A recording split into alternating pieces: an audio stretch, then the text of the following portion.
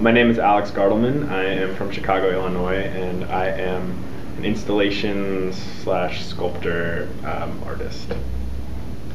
My name is Jonas Sebura. Uh, I also live in Chicago, Illinois, and I consider myself a sculptor.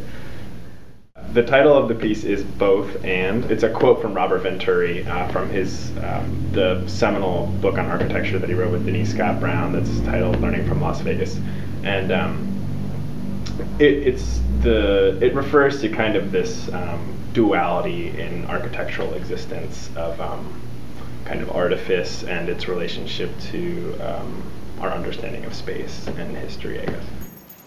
We have a, a huge surplus of materials um, in our working process that uh, are all, most materials have all been um, uh, found or recycled materials, and not necessarily that the work has anything to do with that, um, like recycling or anything, but um, there's a certain uh, there's a certain aesthetic that we found in um, using found materials or reused materials. the state of decay is it's just a really fertile place to draw from because you can find you know a sense of hope a hope in that or a sense of purpose um, to, to fight. It's as something to push against um, but also to confront and accept um, so that there's kind of a duality in the way that we can work from that um, kind of from both sides of, of the idea of decay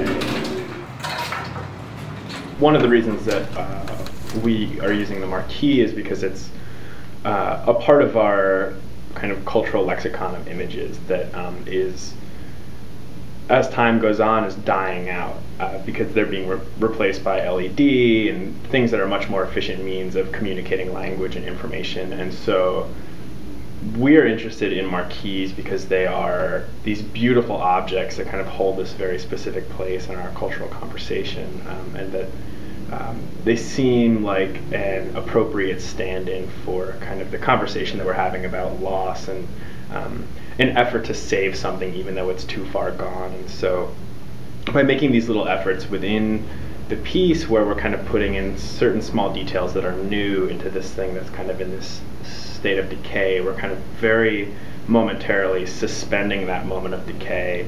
And I think by putting these windows into one side of the marquee, um, it's bringing on a conversation of changing what this space is to try and make it last a little bit longer. So it's half marquee, it's half living space.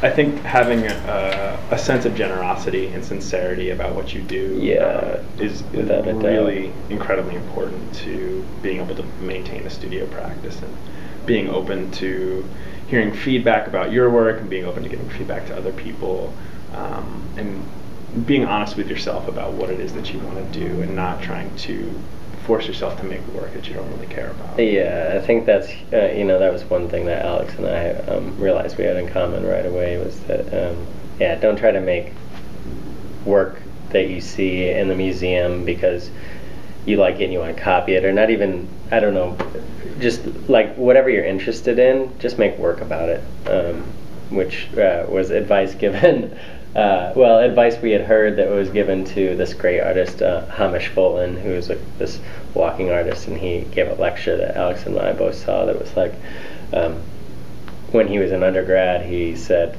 uh, one of his professors asked him what he what he liked or what he what he was interested in. He was like, well, I like being out in the woods. I like hiking around. And the guy was like, make work about it. And he started to, and he's had a huge career ever since. And it's just like totally made him happy, and that's what he makes work about. And I think that's one of the most important things that you could ever do.